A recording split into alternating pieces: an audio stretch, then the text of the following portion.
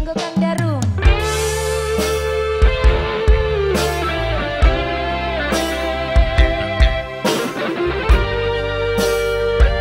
Wong Sukamahi, rapatkan barisan yang punya Sukamahi.